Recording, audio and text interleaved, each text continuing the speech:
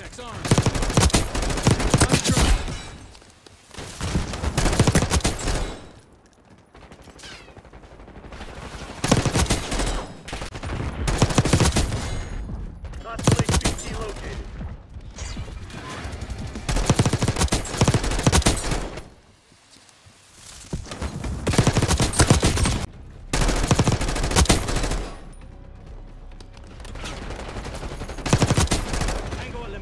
Got our HVT.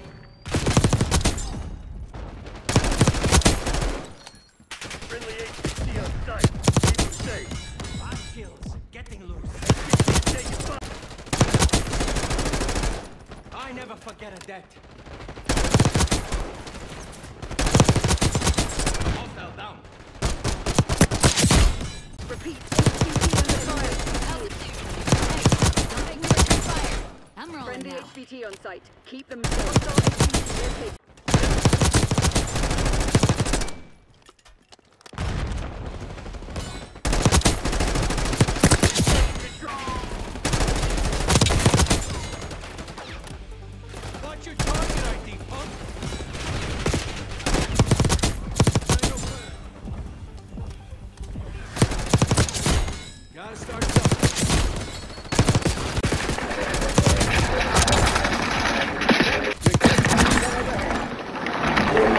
It's your boy.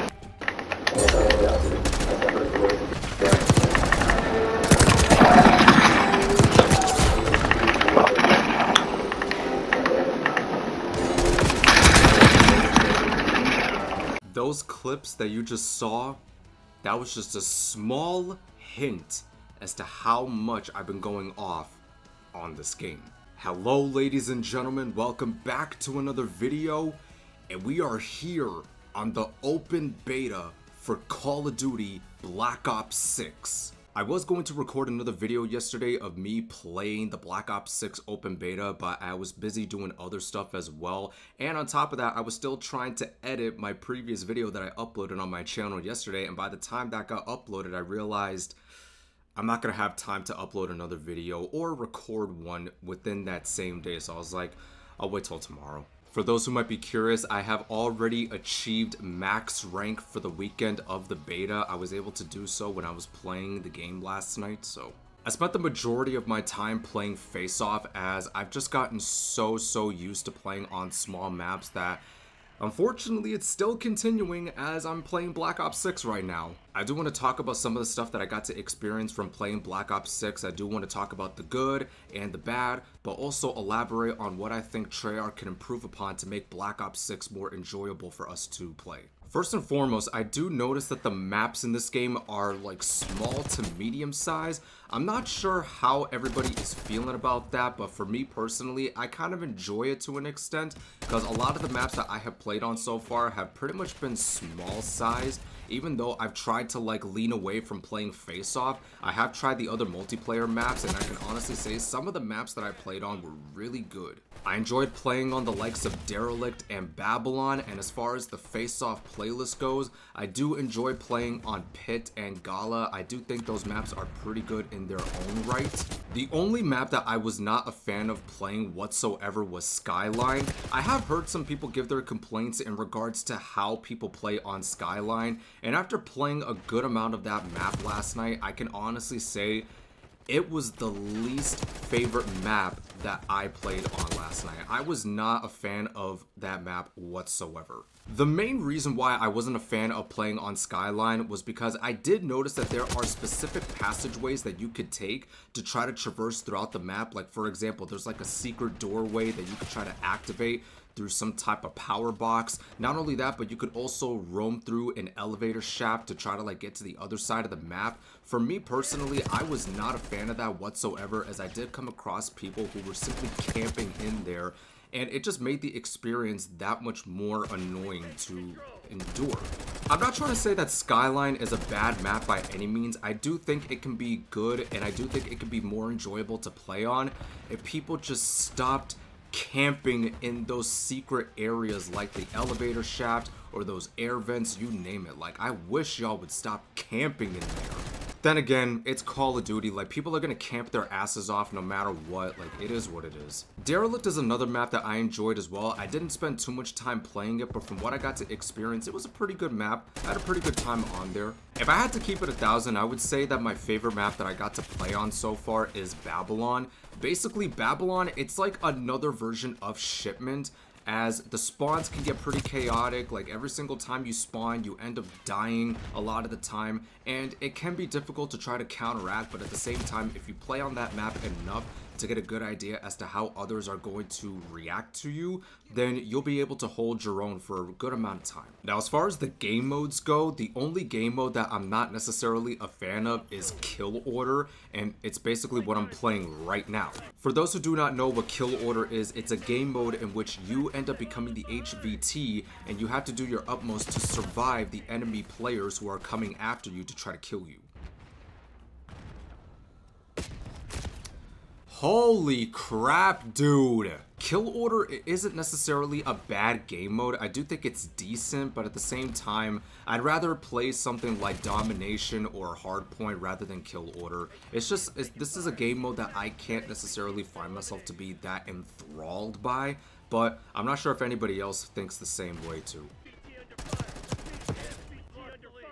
You gotta be shitting me, man. How does that not kill him?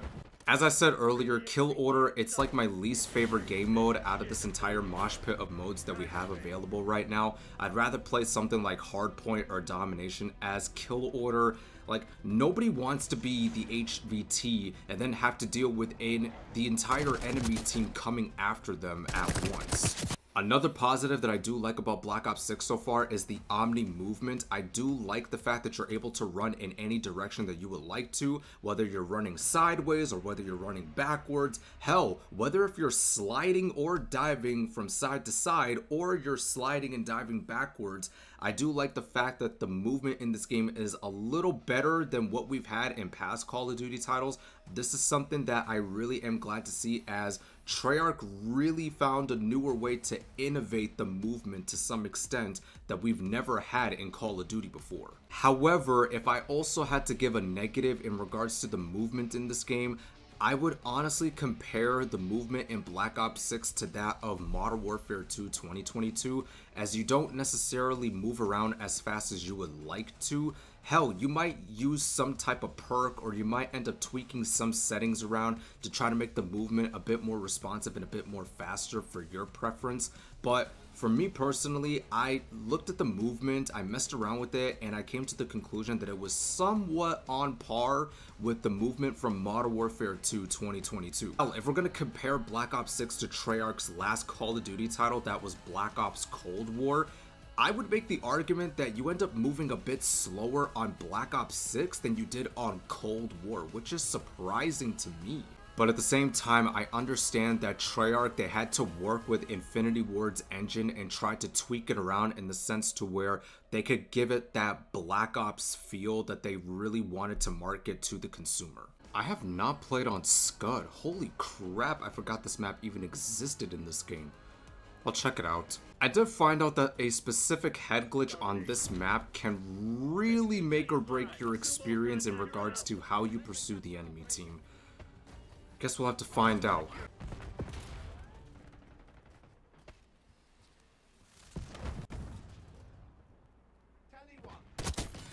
He could see me, but I couldn't see him. Tell me how that makes sense. That is unbelievable! Now, I do want to get into the negatives in regards to what I've experienced with Black Ops 6 so far, and I would even go as far as to say that this is the biggest negative that I have dealt with from playing this open beta so far. It's the packet burst. I can't even begin to tell you just how annoying it has been to deal with the game stuttering a lot of the time, and it's due to the fact that there was just so much packet burst in almost every match that I play on that it can become very difficult for me to do well when I'm having to fight against this. You probably saw a few examples earlier on in the video, but the packet burst in this game has become so problematic that I honestly don't even know if this is something Treyarch is even going to fix throughout this weekend of the beta. You gotta be kidding me, man. There's two guys sitting on that head glitch over there. Are you stupid?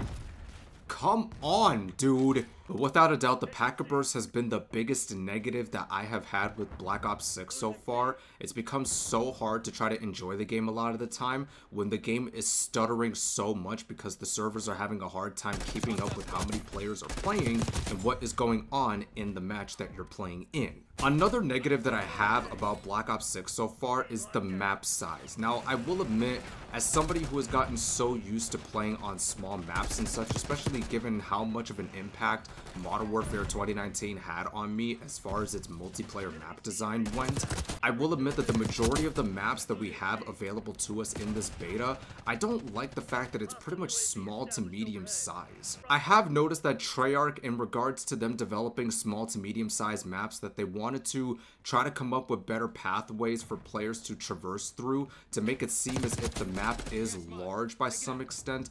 But at the same time, it's like you're still catering to the individuals who have inherited the small map mentality where they're going to want to continue to play on small maps rather than having to use their brains by playing on larger maps and figuring out where are the best ways to flank. And yes, while there are ways that you can flank the enemy team by playing on small to medium sized maps, at the same time, is it really worth rotting your brain knowing that you're going to be running around the same small map just running into endless amounts of chaos and getting spawn trapped over and over again. Like is it really worth it? You gotta be kidding me man. Like that's all that's all they do on this map so far. All they're doing they're just sitting on a head glitch just not even bothering to move. Like, come on, guys. Like, play the game. I do hope that once Black Ops 6 launches, we are able to figure out exactly what other maps are large scale to some extent, so that way it can be easier for us to figure out exactly how to flank the enemy team from which direction, because you're not really able to do so when you're playing on small to medium sized maps. Oh yeah, I'm not playing Skyline. You got it. You you you got me fucked up. But I do hope that once Black Ops 6 launches, we are able to find out exactly what other maps are like large scale in the sense that what other maps are big enough to where we're able to figure out exactly how to flank the enemy team from which direction. That's pretty much what I was trying to say. I don't know if I would consider this to be a negative or anything like that, but I have noticed that there is some level of skill-based matchmaking in Black Ops 6, which I already gave my two cents on it. Like skill-based matchmaking with how it's running nowadays, it's just not going anywhere. It is what it is. We could either deal with it or we could play something else in which the skill-based matchmaking isn't so strong like how it is in Call of Duty. But in my experience so far, I haven't really dealt with that much strong skill-based matchmaking as far as I'm concerned. So I guess the experience has been pleasant to say the least. But to be honest with you, I couldn't really think of that many negatives that I have with Black Ops 6 so far. Maybe I just wasn't focused on trying to weigh out the pros and cons because I've just been focusing on enjoying this game as much as I could. But again, I, I really I've been having a pretty good time playing Black Ops 6 so far. Like this game is pretty good for what you're able to do so far. Yes, it's not perfect by any means. I do think there are some ways, I do think that there are some things that Treyarch needs to improve upon to make this game a little more enjoyable. I would like to see Treyarch tweak around with the movement in the sense to where it doesn't feel as weighty or as heavy as it did back in like Modern Warfare 2. I really would like to see Treyarch make some improvements into making the Omni movement a bit more lighter for us to be able to move around as fluid and as freely as possible. But on top of that, it would also be nice to see it become a bit more responsive kind of like how we have it in Modern Warfare 3. Honestly, I think the biggest thing that I would like to see Treyarch improve upon is the performance of these servers because it can be very, very annoying to have to deal with persistent packet bursts when you're just trying to enjoy the game as much as you can. And the fact that there are times to where the game will stutter a lot, it can be difficult for us to be able to enjoy this game half the time. But the packet burst is something that I hope Treyarch looks into in alleviating as they further put the finishing touches on this game. That, ladies and gentlemen, was my thoughts on the Black Ops 6 open beta.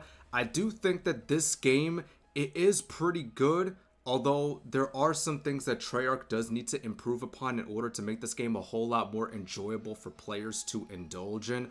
But so far, from what I got to experience, I think it's pretty good. I do think it's pretty good from what I got to see. I do like the Omni movement. I do like some of the maps that I got to experience. And as far as the things that I don't like, the packet burst is the biggest negative that I have with Black Ops 6 so far. I seriously think Treyarch needs to look into this and improve the server performance so that way this game can be a lot more enjoyable to play without having to worry about the game stuttering to some extent. And I also don't like the fact that some of the maps in this game are small to medium size, even though I've gotten so used to playing on small maps, at the same time it would be nice to be able to play on medium to large size as well. That way it could be easier for us the players to figure out ways in which we could flank the enemy team to get the kills. You guys saw early on in the video, I ended up achieving max rank for the entire weekend of this beta, so I pretty much have no other reason to continue playing this. I mean, if the level cap was to increase, then sure, I would continue to play the beta, but